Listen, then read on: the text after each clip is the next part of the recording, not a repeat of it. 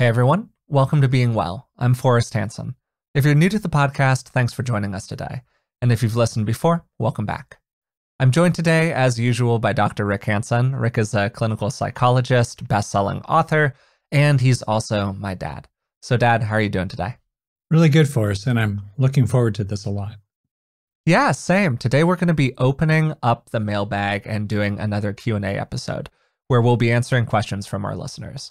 If you'd like to submit a question to be answered, the best way to do that is by joining us on Patreon. You can find us at patreon.com slash beingwell. And for the cost of a few dollars a month, you can support the show and you'll receive some bonuses like deep dives into the research behind each episode, transcripts, ad-free versions of what we create, and the ability to contribute to future episodes by doing things like asking questions that we're going to be answering today. So the first question we got and I wanted to start with this one because I think it's a doozy.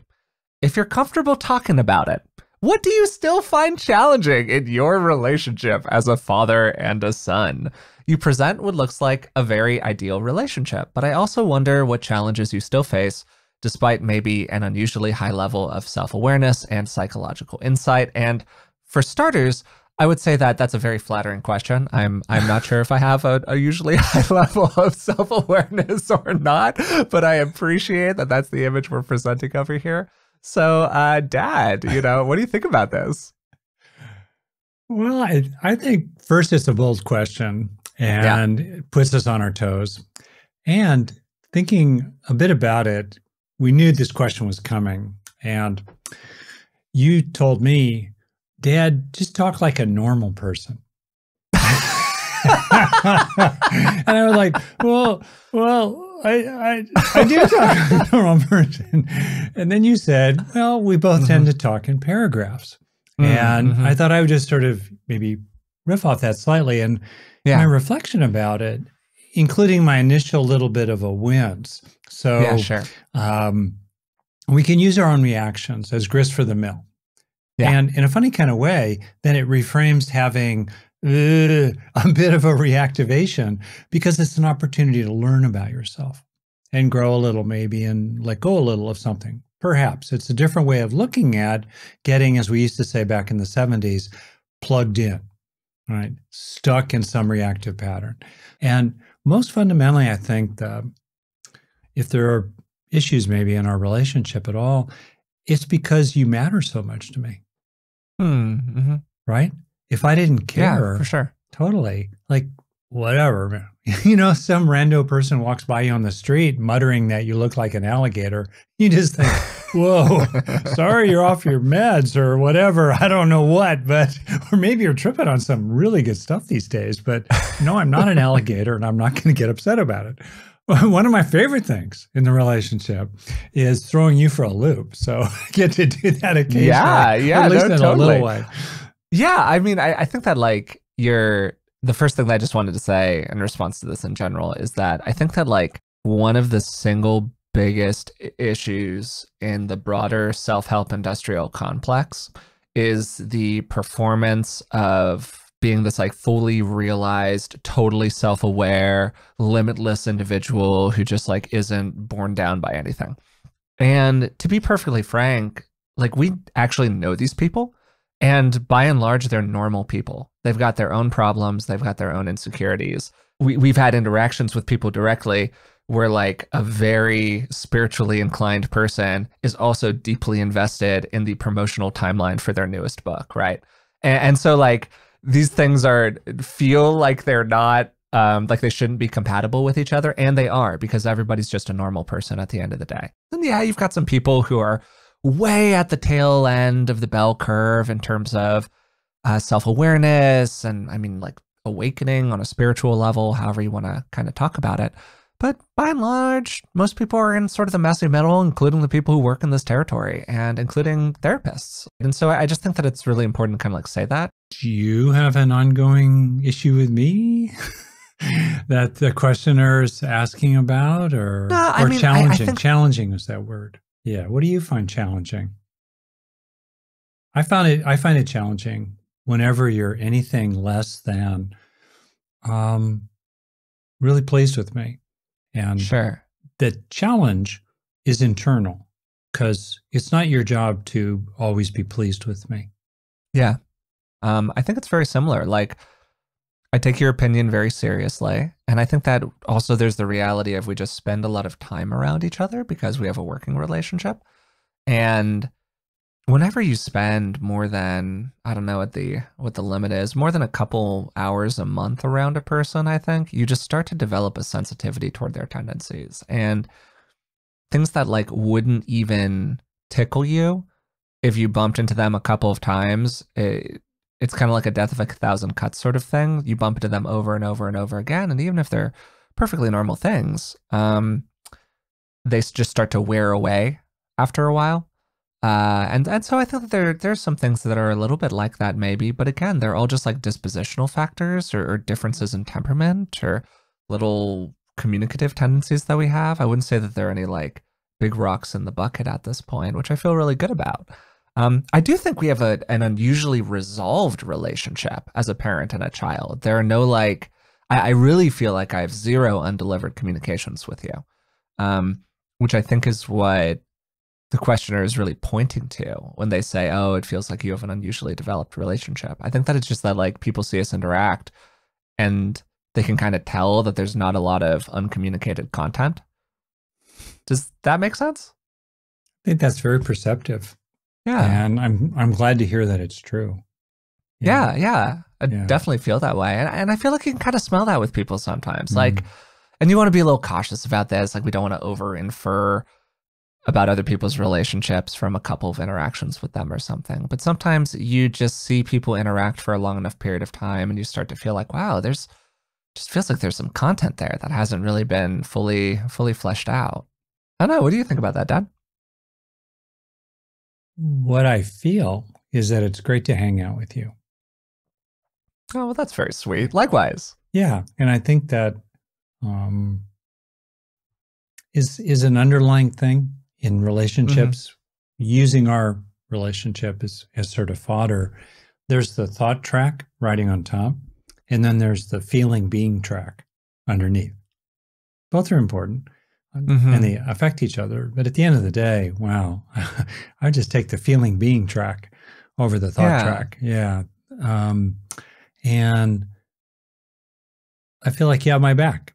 And I know yeah, from the mm-hmm. moment uh, you uh, emerged from your mother uh, that um, I totally have your back, period. Very, very much the same way. I feel like you're pointing to something that's pretty important in there about relationships in general, where mm. sometimes we just feel like we're on the same team as somebody else, and sometimes we just don't. Yeah. I've had those relationships where I feel like I could say almost anything, mm-hmm. and the person I'm talking to would find something to disagree with. They would mm-hmm. find some fault in what. I was mm-hmm. saying. Whereas I think inside of our relationship, I feel like I could say almost anything to you.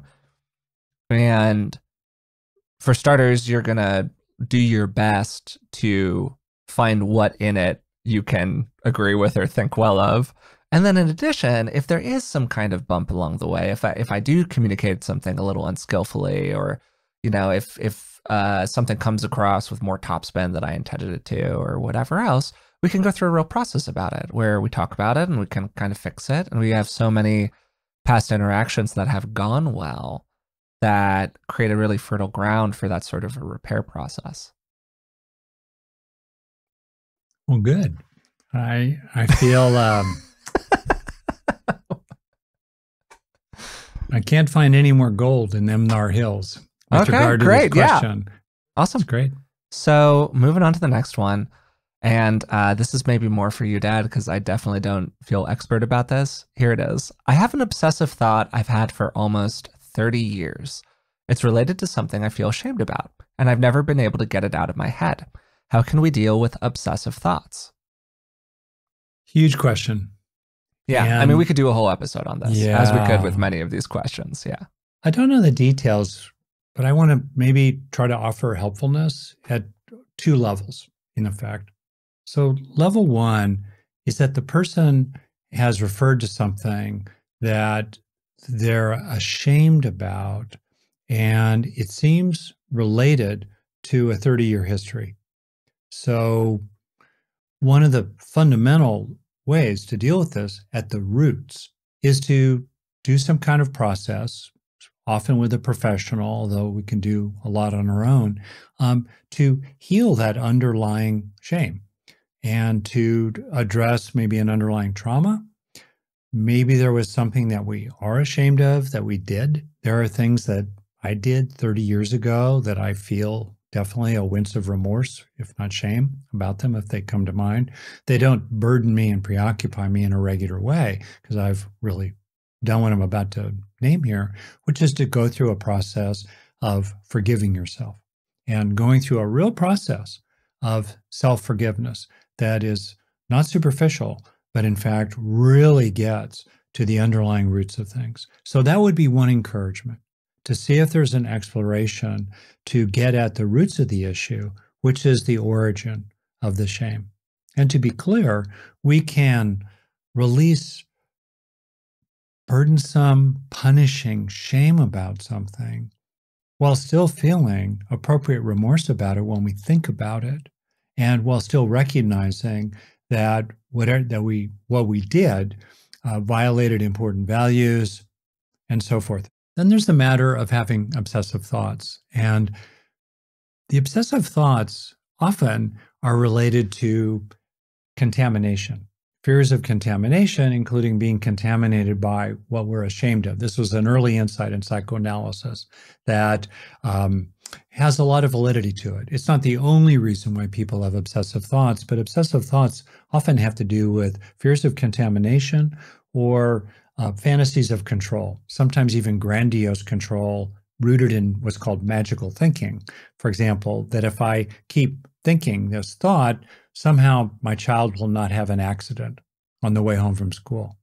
Or if I keep thinking this thought, I'll never get cancer. Well, with regard to obsessive thoughts like that, there are varieties of things you could do. There's psychotherapies for obsessive compulsive disorder, including the obsessive aspects of it. And there's certainly wonderful material. Uh, Judson Brewer, who we had on our podcast, said a lot of good things about it in terms of addressing a habit of anxiety. This said, what I could offer right now, a couple things. One, obsessive thoughts can arise. The question becomes, what's alongside them? Alongside that obsessive thought, is there a sense of being invaded by it and helpless in the face of it and belief in it, none of which are good for you. Or alternately, alongside that obsessive thought is a critique of it, rejection of it, mounting of, you know, listing a whole bunch of reasons why it's not true. Is there a sense that you're not going to be hijacked by that thought? It's happening, it's unpleasant, but it's not the whole of you. It's just there. It's annoying. It's like a car alarm, but it's not necessarily meaningful. And um, do you feel rested in emotions and states in the body that uh, are counter to what the obsessive thought, in effect, is trying to make you feel? So there's a lot you can do to build up resources alongside the obsessive thought, even if the car alarm keeps ringing away it's it's kind of hard to make yourself stop thinking a certain thing because then you have to think about the certain thing you don't want to think about and now you're thinking mm-hmm. about it you know yeah. don't think of a white elephant right uh, yeah so that's that second thing you can do is that you can uh, recognize that the obsessive thought is an experience like every other experience and it has the nature of all experiences which you can directly see that they're made of parts that are connected and changing. And thus, it has the nature of emptiness. It's just a thought, the thought. There's that thought. I don't have to believe it. It doesn't have solidity. It's like a cloud, sort of an annoying, fuzzy cloud. I wish it weren't there, but clouds are there sometimes. And so what? It doesn't have to bind me. It doesn't have to burden me. It doesn't have to have weight in my in my being. The mind is a cave of bats, as one of my teachers mm. put it a long time ago. There's no perfecting the mind. So, you know, your your thoughts there. And when it passes, like all clouds do, take good care of yourself. You know, mm-hmm. it's tough to be burdened in this way. Yeah. I mean, I I don't think that I have a lot of specific advice. outside of a pretty simple idea about identification, one of the things that we've talked about a lot on the podcast is the difference between having a thought and being a thought, or having an emotion and being an emotion. And I think there might be something there that could potentially be useful in this area of obsessive thoughts. To give a personal example of this, I've worked on self describing as an anxious person uh, and referring to myself as being anxious or like I feel anxious or something like that, which can give me some separation from it. But if I describe as I am an anxious person, it becomes an identity statement. And identities are much firmer than thoughts or emotions or experiences, right? So are you somebody who basically is this obsessive thought? Or are you somebody where, wow, this weird obsessive thought appears in my mind periodically? I think that those are kind of two different things, right? And sometimes our identities can really get wrapped up in our experiences, but our our identities are not our experiences. They're two distinct things. Um, so I, I just kind of I'm sort of echolocating my way around that one, Dad. I don't know if you have a view on it, but that's just something that pops to mind to me as like an area that could be useful. That's fantastic. And one great simple way to practice the wisdom yeah, that you yeah. just offered there is to observe the difference between relating to something, an experience you're having, so mm. in the way of I am thinking X, Y, or Z. Okay. Mm-hmm. Compared to there is the thought of X, Y, or Z. Mm-hmm. Just like you said, when in the first case you're identifying with it, you're owning it, it's me, it's mine.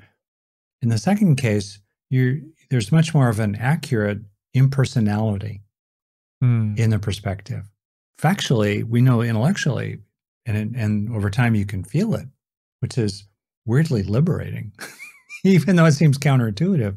That all that you're experiencing, including the, your sense of personal identity, is being constructed by a whole bunch of impersonal processes, some of which have to do with a particular body, much of them have to do with evolution over millions of years or current processes in society, including the impact of the way you were brought up.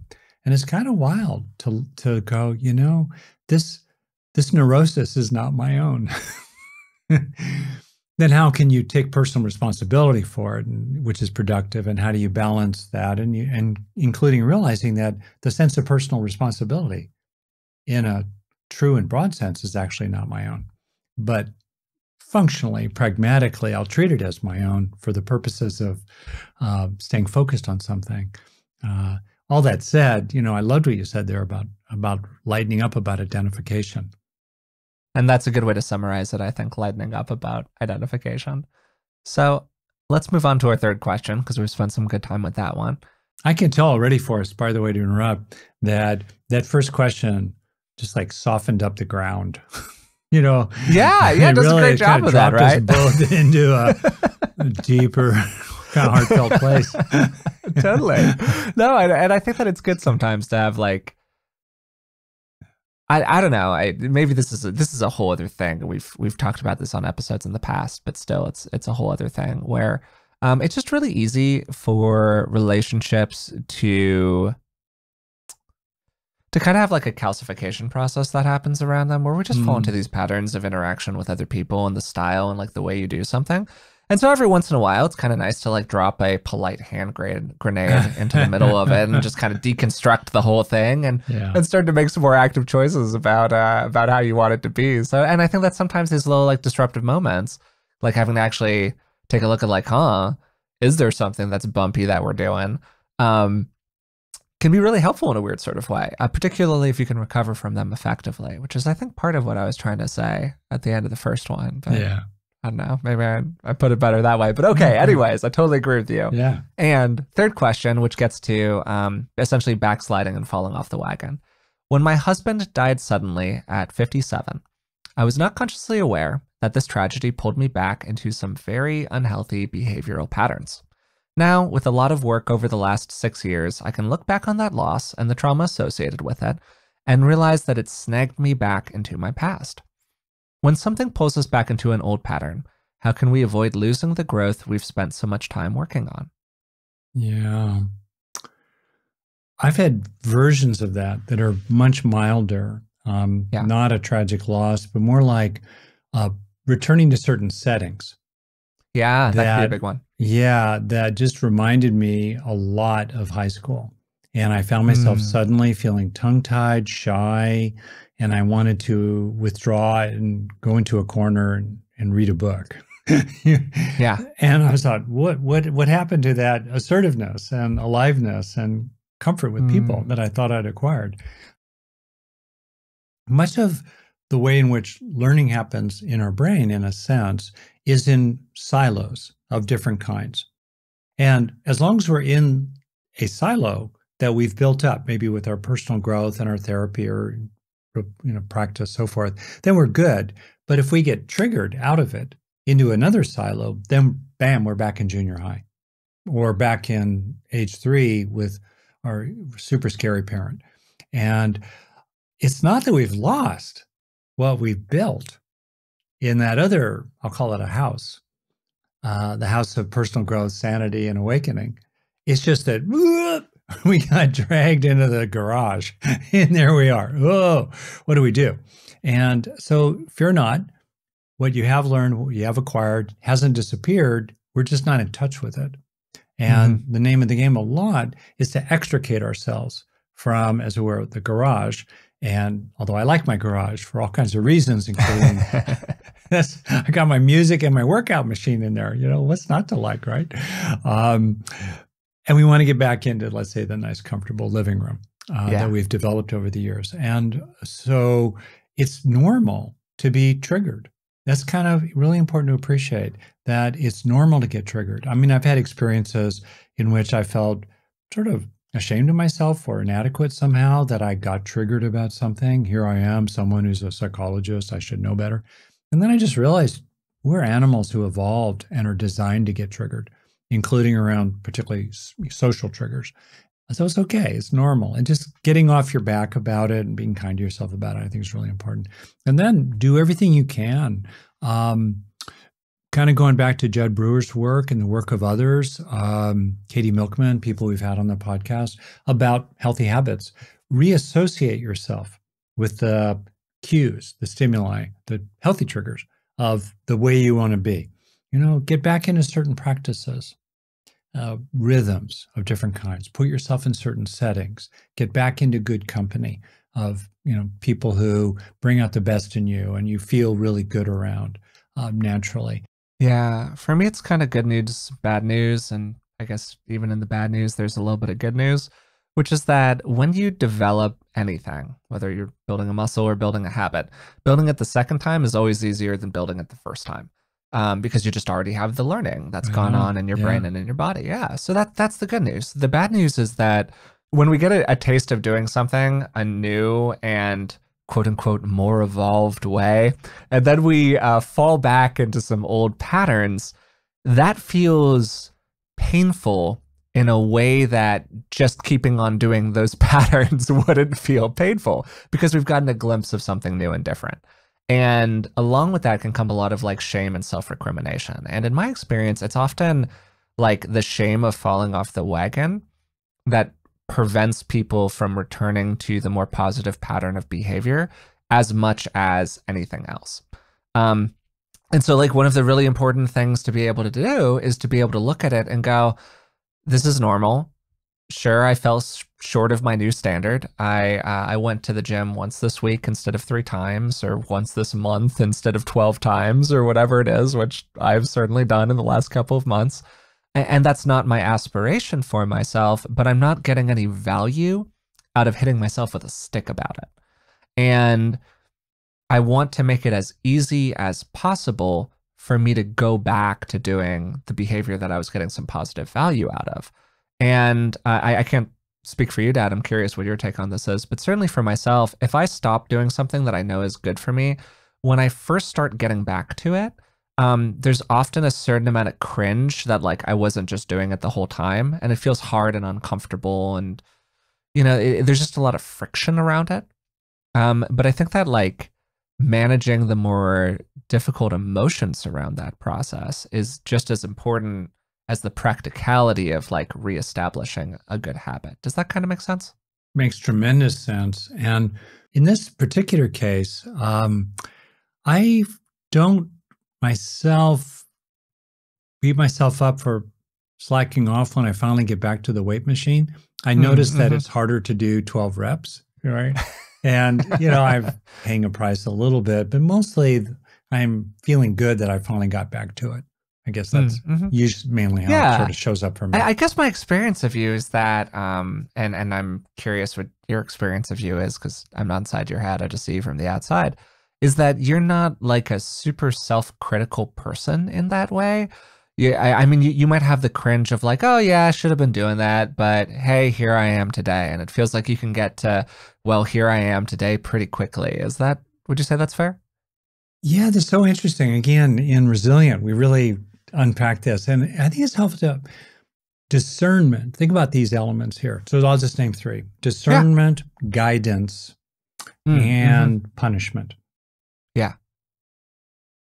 You know, I think it's true to say, and I'm very discerning of my own behavior and performance. Yeah. And I, I, think you're you're high discernment, high guidance, pretty low punishment is what yep. I would say. There you are yeah. in a nutshell. And yeah. I think that's a great combination. Yeah, I, I, recommend that's, it. That's a good that's a good one. and, and, you know, if you could get to that one, it's a really really good one. Um, I, I guess one final thought about this person's specific question: make it easy for yourself to m- mobilize back toward the good pattern of behavior.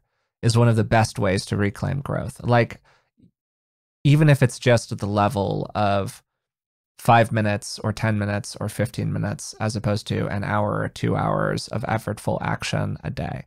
Um, having little moments where you think about yourself or toward yourself in a more nurturing fashion rather than a more punishing fashion, and then not punishing yourself too much for having moments where you think about yourself in a punishing fashion, you know? Giving yourself the freedom to make incremental positive changes, mm. um, I think can be really useful for people. It's great. I'm really looking forward to this one because we get to bring Rick in to an episode that I just recorded. Here it is. You recently published an episode on psychedelic assisted therapy. What's your perspective on psychedelic substances and plant medicine more broadly, taken with intention outside of a therapeutic context? This could include ayahuasca retreats or LSD or psilocybin trips that are done for maybe spiritual rather than recreational reasons? Wow, let's see. So we have three things really. We have using um, psychedelics in psychotherapy. We have using psychedelics with a personal growth purpose, spiritual or psychological or both, outside of therapy.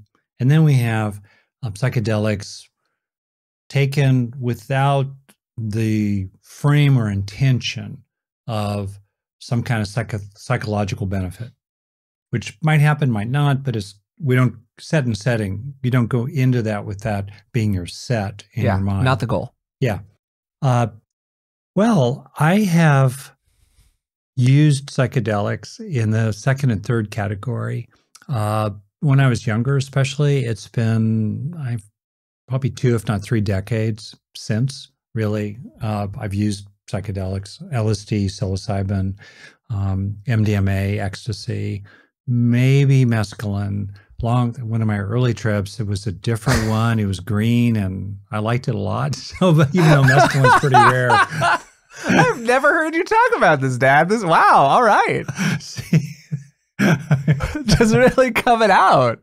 That's why we do the pod. But anyway, awesome, and awesome. So, I, I, my view about this sort of thing, and it's also my view as someone who re- teaches meditation retreats and is rooted in, um, with great respect, a Buddhist lineage that has the fifth precept: not to use intoxicants, or more exactly, not to uh, use substances that cloud the mind and lead to heedlessness. So the question being, uh, does you know, half a glass of wine or a toke of marijuana or, you know, taking mushrooms with your friends on a Saturday cloud your mind and lead to heedlessness. That's a whole other thing. In that broader context, I'm really pragmatic about it. I think it's important to not underestimate uh, the addictive nature for certain vulnerable brains. And frankly, I have one of those vulnerable brains to the ways in which the brain wants the molecule. It, it wants that alcohol or marijuana or et cetera molecule. Interestingly, most people do not become addictive about psychedelics. Uh, yeah, yeah, that was one of the things we talked about during yeah. the conversation yeah. is that particularly on a physiological basis, these substances are by and large not physiologically mm-hmm. Addictive. That's now right. there's a difference between physiologically addictive and psychologically addictive. Some people do get into habitual use patterns with things. Yeah. Um, but the truth is that particularly if you're doing like a fairly large dose of something of a classical psychedelic like LSD or psilocybin, most people do not come out of that experience and are like, "Yeah, I want to do it again tomorrow." You yeah, know, exactly. like that's just that's just not the the no, response. It's usually much more like, "Whoa, that was really weird. oh. I want to digest that sucker get, for a few get back to me in six months to a year. Yeah, and we'll yeah, talk about it. You know, I'm something good. like I'm that. really good. So. that's really true. Usually, so number one, usually. in my pragmatism, I, I do I do heed the value of being entirely substance free for all kinds of reasons, including the ways that it for, can force a person to draw on other resources for their healing, growing, and awakening. Uh, psychological resources, meaningful relationships, other you know physical activities, exercise, other things and substances. And I can appreciate people who, you know, draw a line, not in a punishing kind of way, going back to the previous question, but in a sincere way. So I respect that view. That said, it's not exactly my own. I'm looser, a little looser about it, uh, including in my personal behavior. And um, I'm also pragmatic to go further. If a person, let's say, is in a meditation retreat and is, you know, just afflicted with a chronic headache, you can practice with the headache, or if you have a pain in your back, or you have depressed mood, or you have a naturally skittery attentional system. You're in the top 1% of distractibility constitutionally. That's your genetic profile. You know, if it helps you get the value of the meditation retreat to take some Advil or Zoloft or Adderall, pragmatically, okay, you know, that's said. So I'm pragmatic about it. So for me, the fundamental metric is taking into account risks. There are risks in psychedelics, they are serious, powerful substances. And um, I have had wonderful experiences on them. I've had terrible experiences on them. The mm. worst psychedelic experience I had in my life was on nitrous oxide in a dentist's mm. office. And maybe there's something sure. in my body that's not yeah. right with it. Don't, don't underestimate the power of these tools. Right. Yeah. But then, with all those caveats named, including recognizing your own vulnerability. Maybe you have a kind of loose personality structure, sort of, you know, the the glue or the grout that keeps the tiles of your psyche in place is kind of really loose, or has been mm-hmm. banged hard by trauma or various other things. You know, then be especially careful. All right, all those caveats said. Uh, I think that the lasting impact in a structured setting uh, of psychotherapy is really, really quite potent potentially for many, many people. And the research on it is just shocking in terms of its benefits. Second, to the person's question, you know, outside of a therapy, outside of a structured setting with a licensed professional, but maybe with other people who are experienced guides um, perhaps nested in a particular tradition of plant mm, medicine mm-hmm. and respect for sure. it. Uh, perhaps a, um, if you forgive the use of this term, a, a more shamanistic kind of lineage uh, mm-hmm. involving the first people, uh, the native people around the world. Or you got a buddy who's going to trip sit for you. Or maybe you're quite experienced and you do it on your own. My favorite way to do psychedelics when I was doing them was by myself in nature. Mm. If you're doing it in that way, the risks are minimized. When you take these substances, you start to recognize so directly how constructed and arbitrary and impersonal that word again, the stream of consciousness is. Mm, hmm You recognize that when the the drug disrupts the conventional streaming, like, wow. And you recognize it when you start coming down and mm-hmm. the conventional psyche starts to sink its roots into you again mm-hmm. and how that is. So there's a lot of potential learning for you in the whole thing. So I'm I'm really fine with it. Uh, I don't want to mm-hmm. how can I put it? I want to be really clear. Hopefully, I've given enough caveats and and all the rest of that. And then when you step back from it, you kind of ask yourself, "Hmm, what have I gotten out of this?" And if you look back on it and go, "I've gotten a lot out of that," well, maybe do it, you know, the next time. If on the other hand, you look back and you go, I think I've gotten as much as I really want to get or I'm going to get, or you look back on it and go, you know, part of what draws me into this isn't that wise.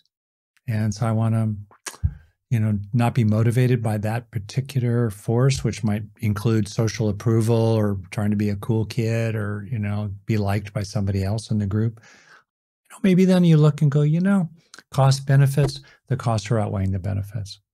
So I hope I haven't been, you know, annoyingly thorough, careful, and pragmatic here, but well, I don't think you've been annoyingly anything. I think that you you have been careful, and I, I just think that it's so funny on a human level that we're talking about this right now because you know you've you've shared some stories with me in the past, but we've never talked about it on the podcast or anything like that. Part of the initial question was focused on um, specifically a spiritual context and there was this specific language that was used of plant medicine. And it's helpful for us to understand um, if you're listening to this and coming to this as a Westerner inside of the Western psychological tradition, that there is a very, very, very, very long, mostly non Western tradition around the usage of these substances. From indigenous peoples, from all over the planet, humans have been consuming psychedelic substances for literally thousands of years so, you know, this has been going on for a long time. And it's appropriate, again, if you're trying to enter those spaces or those communities or those contexts as a as a as a Westerner, to be very appreciative and to be very thoughtful about that and to give a lot of um, space and respect for those more indigenous traditions and ways of doing things. For most people, if they're doing it with a thoughtfulness and an eye toward either individual or collective growth, their own growth on some aspect, or the growth of a community that they're a part of, that's a really lovely reason to try something on. And I think the trying it on phrase is a good phrase here, and to be careful and thoughtful about the engagement with these things once you've tried them on, and to really think about, huh, what are the reasons that I'm doing this? And as you were saying, Dad, what are the benefits that I'm getting out of it, or what are the problems that it's starting to cause for me? And if we can be kind of clear eyed about that, we're not hurting anyone else and we're having a grand old time and we're getting some personal value out of it. And the people in our lives are starting to come to us and being like, hey, you just seem a lot more relaxed than you used to be. And you don't get as kind of tight about stuff as you used to. And just really feels like you've got a new perspective on things. Then, wow, you know, what's the problem? Add two points, maybe related yeah. mm-hmm. perhaps to what I'm kind of intuiting is inside the question. So, sure if a person is using psychedelics or any other way of directly physically altering your neurochemistry, let's say in a spiritual context, does that invalidate what you experience? If you experience through the psychedelics, say that you that there is an underlying ground in reality that mysteriously beyond language is timeless and infused, let's say, with a, a benevolent awareness of everything. And when in touch with that apparent ground while tripping, everything's okay. Problems are okay. They're to be dealt with and they're okay. And there's complete release of burdensome self preoccupations. There's no need for that. Maybe with some other insights. Okay. And then the drug wears off, the chemical gets metabolized. You come back. How do you interpret what you experienced or discerned? And just because the discernment and the experience was grounded in some physical process in your own body does not inherently invalidate the validity, even the ontological nature, the existence even of what you've discerned. Really important point. It's kind of like if um, suddenly the drug has pulled back the curtains in the in the windows of perception, and wow, you recognize this beautiful, radiant light. And then gradually the drug wears off, and the curtains of the ordinary, evolved, constructed mind, which evolved in part to be contracted and miserable in order to survive, in part, uh, does it mean that the light is still not shining, even though the curtains, the shrouds, have come back again? And I think it's really important to appreciate that whatever is reality is reality. Whatever the ground of reality is, is the ground of reality. And it may be that um, a drug helps us apprehend what's actually the case, but it doesn't mean that we're not apprehending something that's actually the case. Yeah, yeah, and there's and you're probably more familiar with this than I am, Dad, because you're more involved in the Buddhist community than I am. Yeah. There is a long tradition in the Western Buddhist community of very well known teachers using psychedelic substances, some of them very publicly and very openly. Roshi Joan Halifax has written, wrote essentially a book about uh, her going to various indigenous communities and being involved in a variety of different ceremonies that involve the consumption of substances and the impact that that had on her. Uh, the name of the book is The Fruitful Darkness. Love that book.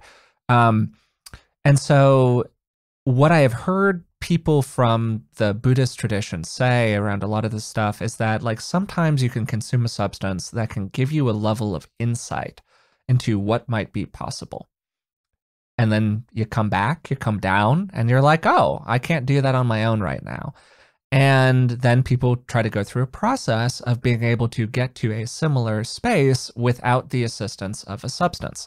So, but sometimes having just like the glimpse of the possible can itself be very helpful because there can be kind of a roadmap in that or an intuition around a, what a person could accomplish with some deliberate effort over time. Your brain's doing it. It's doing it with the assistance of a chemical, but it's your brain that's doing it, as near as we can tell. Um, and I think that that can be really helpful for people. But again, what most of these people have said about it is that the goal is to get to the place where you don't need the substance. Like that's the whole point. Um, but sometimes there's an aspect of it that can help you with the intuition part.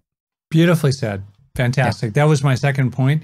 Um, awesome. Gurdjieff uh, apparently had this line that drugs are like telescopes. They show you what's possible, but then mm. you need hmm. to walk there on your own, kind of like that. Yeah, yeah, and, yeah. And that also gets at the distinction of doing a, a trip, uh, whether in a structured psychotherapeutic setting or, or not, that produces itself lasting change. Yeah. I've had in my mid 20s, I had a series of psychedelic experiences that mm. helped me clear up an extremely deep and long-standing personal issue. Mm. Um, and it, it, resolved through that. It was you're cleared. Wow. Okay. Often, though, the trip helps you discern what's true or drop into what's true, but then it fades. That's why it's so important to do what you can afterward to help it yeah. stabilize and, you know, so that you can rest there increasingly on your own. Exactly like you said. Yeah. Totally. And uh, that's part of the reason that when you have these psychedelic assisted therapy sessions, uh, the the most time is spent before and after the psychedelic assisted session itself. There is one or two psychedelic assisted sessions, and then quite a bit of both time leading into the session and then critically integration uh, sessions, as they're often caused, which occur after the psychedelic assisted one, where the person chews on and digests and goes over what happened with the clinician so that they can really integrate that back into their their life without the substance. So, wow, what a what a trip that that question was, Dad. I, I didn't really see that one coming. Yeah, exactly right. Okay, so our next and I think our last question for this episode. I wonder if you know the book Humankind: A Hopeful History by Rutger Bregman. It argues that people are decent at heart and proposes a new worldview based on the corollaries of this optimistic view of human beings. My sense is that many of the negative stories around human nature that pervade our culture are constructed or otherwise on thin ground. And there's no doubt, extremely terrible things have happened, still happen, and probably will always happen. But I think on balance, there's often more good around than bad. If you know the book, do you think it has a rose colored glasses view, or is it consistent with what you both think? Well, I, I know of the book, and I think it's a very solid, important, worthy effort. And I also know the question that the person's really getting at. And one version of this is what is human nature? It's a classic question. Are we yeah. naturally devils who need to be highly regulated and controlled by society with raw, savage ids that are prepared to erupt at any moment? So we need to civilize ourselves, kind of a psychoanalytic and often religious view. Or alternately, are we angels by our nature? Who need just a little bit of regulation and more than anything else, opportunities to express their goodness.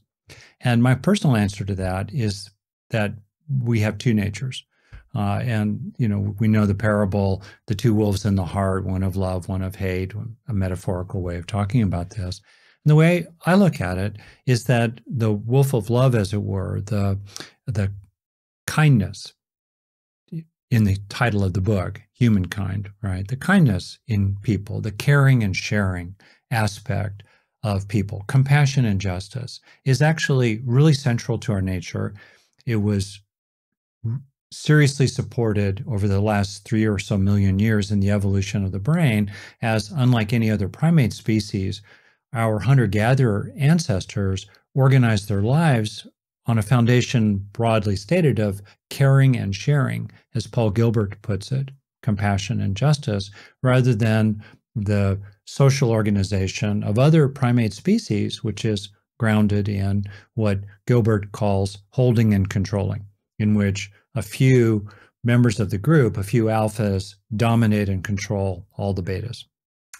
So the good news is that caring and sharing, kindness, is really native to us. And the good news today also is if you look out at the world, ordinary life is dominated by little exchanges that have caring and sharing in them, with even with complete strangers, uh, quite routine. On the other hand, that uh, kind of ancient, atavistic capability of leaning into holding and controlling, including as hunter gatherers against other hunter gatherer bands. That has left us with a capability that is unfortunately all too easily activated toward callousness, cruelty, that's just stunning. And you don't need laboratory studies uh, in which there are, you know, questionable manipulations maybe to recognize just the routine atrocities, uh, in, including in the modern world. Uh, so, what are we going to do about it? I mean, for me, the real uh, takeaway here is kind of twofold. Good news when people are not being threatened in their core and they're not being manipulated typically by an authoritarian leader who is playing on our vulnerability to grievance and payback. They tend to be really pretty decent, pretty cooperative, pretty reasonable, pretty friendly, pretty easygoing. We tend in that direction. On the other hand, we are vulnerable, really vulnerable to the drumbeats of fear and uh, grievance and retribution. And therefore, it's extremely important to pay attention to social factors, societal factors, because that's what enables the fundamental goodness in people and kindness in people to really have a chance to come out, including applied to those who are not like me. A way of thinking about this is that given how beautiful our human nature can be, by contrast, so much of our history, so much of it has been terribly brutal and horrible. So it's especially tragic given that it doesn't have to be that way. And it's especially important going into the 21st century that we uh, move strongly toward caring and sharing, toward compassion and justice, as the foundation of all human societies. Yeah, I think that was a great answer, Dad, for starters. And for me, I really approach a lot of this in terms of like, how do we get the ideas that we have about the world? Mm. And I think it's a really important question to always yeah. ask ourselves, right? Like, where does that view come from? You know, like, like who, where did we get the view that like humans are kind of bad on the inside? And it's like, okay, all of these ideas are situated inside of a context. And if you look at something like that idea, the context of it um, is by and large a Christian context uh, happening in Europe, largely in about 1200 until about 17, 1800, depending on where you want to draw the lines. And uh, that view is that, you know, man is uncivil and um, we need to apply a lot of intense top down regulation in order to control people's impulses. Otherwise, they are going to behave in a way that we don't want them to behave. So it all just comes back essentially to power and control. Um, and that viewpoint really supports a lot of very authoritarian perspectives. Like, if people are bad, then we must control them. But if they are not, then do we have to control them still? And the answer mostly is kind of no. Um, and that leads to a very, very different kind of global functioning and a very different kind of governmental system and a very mm. different kind of religious system and so on yeah. and so on. Once you start making different assumptions about the way that people are. So it's important for us to think in that way. And then if you even think about like early psychology, like you were kind of pointing to Freud there for a second, which is, you know, the the toxic id buried inside of ourselves that we must constantly defend ourselves against. Turn of the century, right? Like 1900. Victorian. Victorian. What's going on in the world right then, right? We're looking at the Industrial Revolution. We're looking at all of these conflicts. We're on the eve of World War One. You know, like it's a messy moment in time. Um, and so it's really, really helpful for us to think about those, those philosophical perspectives inside of their practical context. For me, in truth, I think that humans aren't good and I think that they aren't bad. I think that they're really tribal. We're big apes. That's what we are. We like the ones that are kind of like us. We don't like the ones that aren't like us and we don't trust them and we don't want to share our food with them. And thankfully, we can apply a lot of top down regulation to inspire our more positive parts and kind of be thoughtful internally and regulate our less positive parts. But but I, I don't think that humans are good or bad. I think they're tribal. And I think that you can look at most of human history through that lens and have it just make a lot of sense. I agree, kind of, kind of. But I want to okay, flag okay. one little. All right, thing. you want to flag a thing? Okay, good, good. Bodhicitta. okay, all right, what yeah. I, what I mean is, I just invite people to look inside, and mm. if you just kind of take a breath and slow down for a moment, and you know, in the in the moments that you're not in agonizing pain, you're not fighting for your life. What's the natural inclination in you? What's your natural first inclination? Generally, it's pretty positive, you know, toward kind of simple pleasures. You want to learn something, want to make something.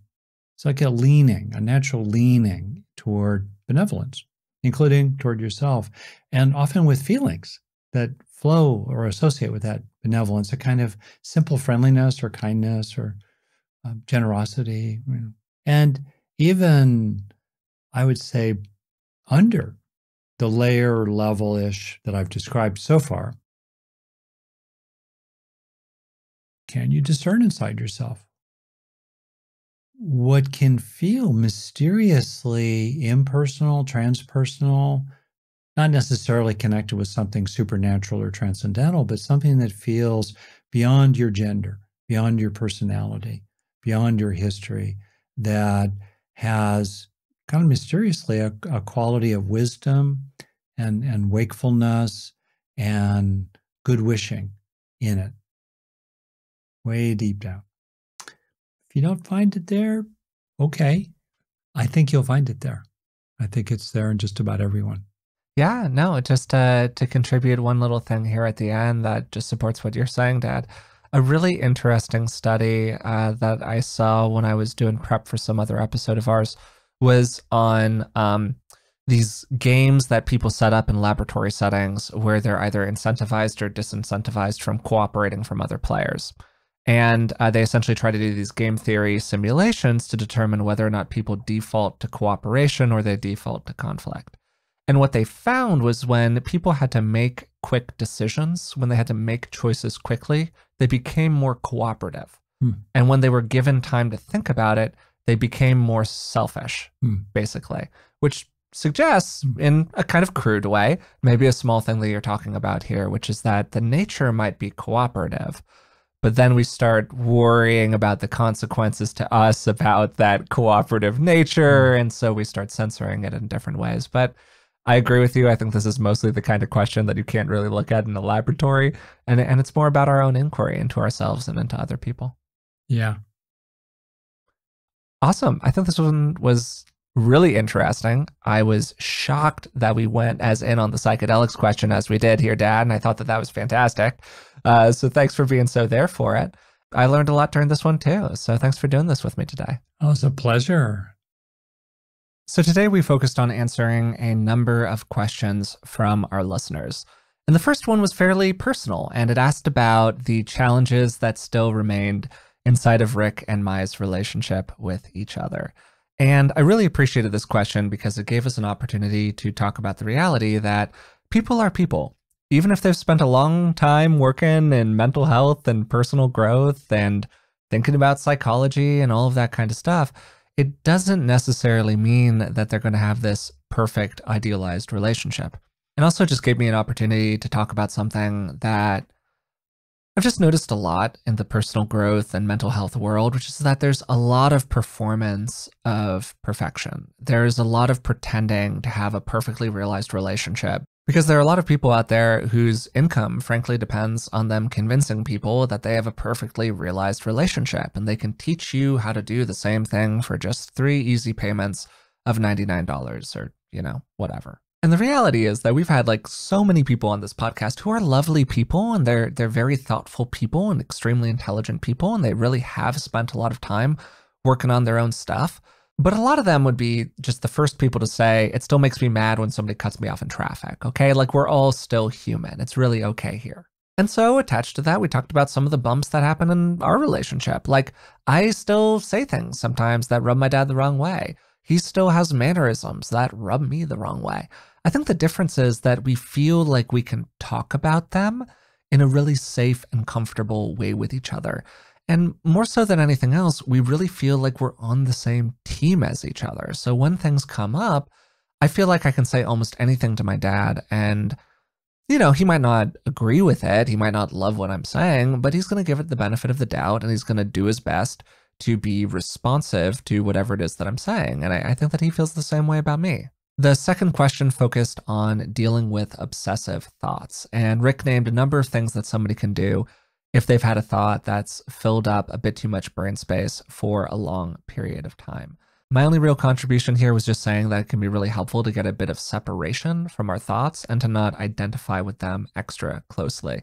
And then Rick expanded on that by talking about the ways in which we can move out of identification altogether, maybe even disidentifying to an extent with uh, the nature of the self or seeing the thoughts and feelings that arise inside of us in a more airy and insubstantial kind of way.